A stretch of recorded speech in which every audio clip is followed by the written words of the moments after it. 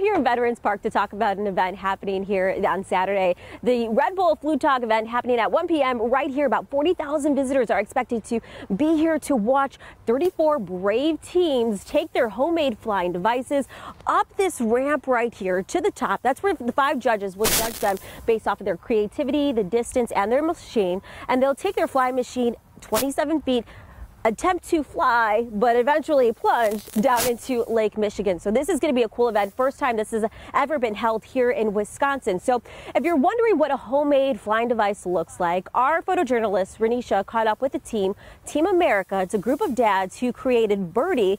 That is their flying device. So it's an American themed flying device, an eagle with stars and stripes on it. They said it took them about two months to complete this project, and they enlisted the help of a local engineer as well as you can see, built off of American Pride.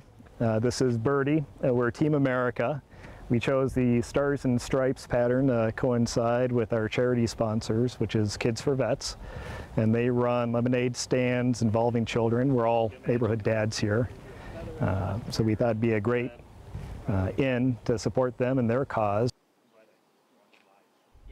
Okay, so Tom was thinking, what would our TMJ4 morning team do for our homemade flying device? So we have this Storm Chaser logo that they essentially gave to us. Uh, so we got it for free from our creative services department.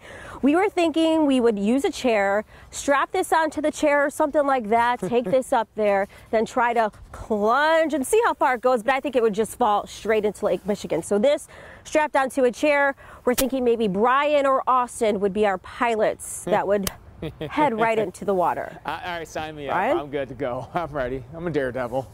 I've done worse Here's things before. oh, really? Please do tell. no, maybe not.